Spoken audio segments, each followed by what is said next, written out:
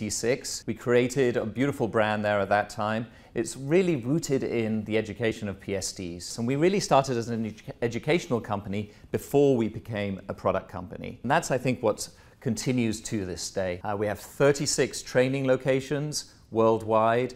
We train 100,000 professional skincare therapists every year. By education, we talk about that real expertise that the therapist has to give the perfect product, to create these products which work and deliver and give you beautiful, healthy skin.